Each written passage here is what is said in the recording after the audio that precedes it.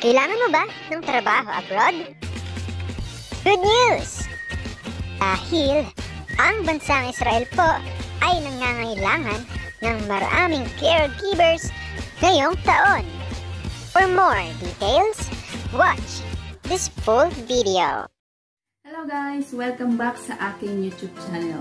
Kayo ba ay nangangarap o gusto niyo mag-abroad?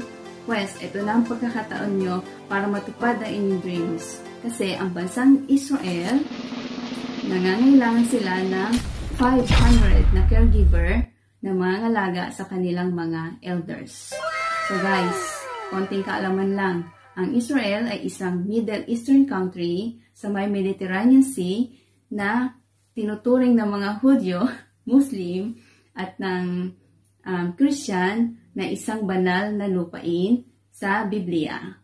So, bago ko ipagpatuloy ang ating video, please don't forget to subscribe sa channel ko and hit mo na ang notification bell para updated ka sa aking mga videos.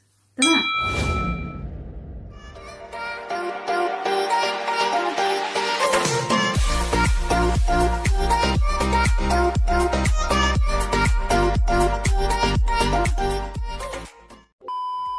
So, yun na nga. Paano nga ba mag-apply bilang isang caregiver dito sa Israel?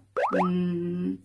So, sasabihin ko sa inyo step by step kung paano mag-apply dito at kung paano maging caregiver. So, stay tuned lang po kayo at huwag kayong aalis dahil step by step ko po sa inyo sasabihin at ilalagay ko po yung link down below kung saan po kayo mag-apply, kung saan kayo pwede magpasa ng mga requirements and let's get started. So guys, introduce ko lang po sa inyo yung agreement na meron ang government ng Israel at ang government ng Pilipinas. Ito po ay tinatawag na bilateral um, labor agreement kung saan kasunduan po ay government to government na po ang magde-deploy ng mga caregiver dito po sa Israel.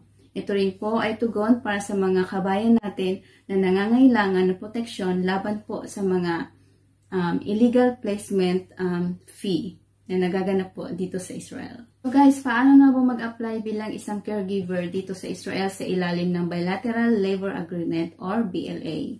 Sasabihin ko po sa inyo step by step, so stay tuned lang po kayo dyan at mamaya ilalagay ko po yung link sa ilalim ng aking video. So number one, kailangan niyo po mag-enroll online sa onlineservices.poea.gov.ph Number 2, kailangan niyo po isubmit lahat ng requirements. May deadline po sila hanggang February 15, 2021 lang po. So, hintayin niyo po ang abiso ng POEA. Number 3 po yon And number 4, um, habang naghihintay po kayo, i-make sure niyo po ang inyong passport ay updated at valid po siya ng 3 years para po matatakan po kayo ng visa dito po sa Israel.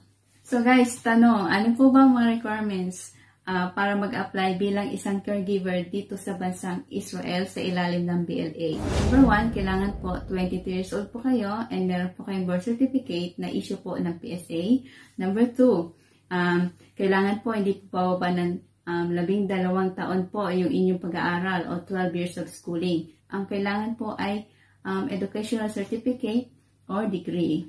Number three, dapat po meron kayong TESDA NC2 certification for caregiving or nursing po kayo or isa po kayong physical therapy.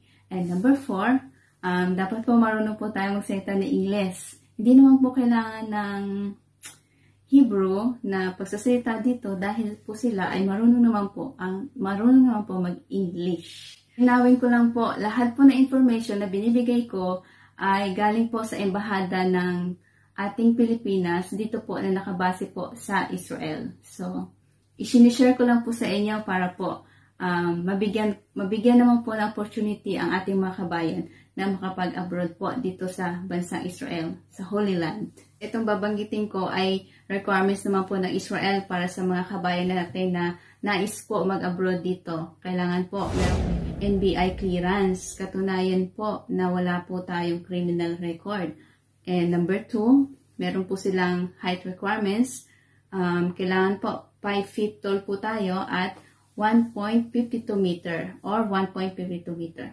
So number 3, kailangan po um, 45 kilogram po tayo kasi kung bababa tayo doon, eh, kawawa po tayo kasi po sila po ay malalaki talaga.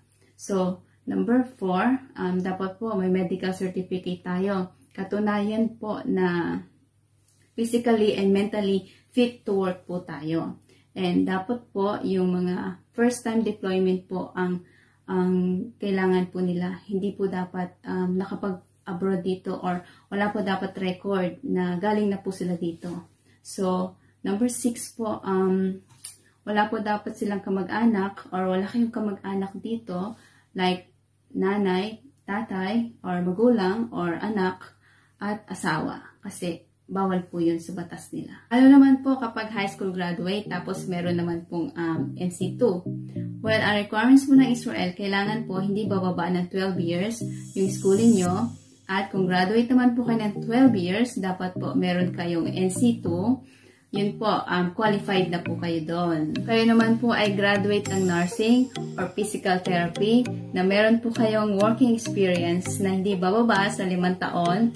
Um, hindi nyo na po kailangan ng NC2. Kailangan nyo lang po ay umaten na assessment. Ito po ay portfolio assessment sa TESDA. So, mamaya po ilalagay ko po sa um, baba ng video ko yung link kung saan nyo po makikita yung mga list of requirements na kailangan nyo po bayan, ang main office po ng POE ay itatanggap lamang po ng mga application until February 15, 2021. Maaari din po kayo magsumite ng application sa kanilang regional o satellite offices ng POEA until February 12, 2021. So, hanggang dito na lang po ang aking video. Bumisita lang po kayo sa kanilang website at mamaya ilalagay ko po yung link sa baba ng aking video And sana po nakatulong po ako. And please don't forget to subscribe and like and share. And magkita-kita po tayo dito kabayan. So, see you! Bye! Thank you for watching!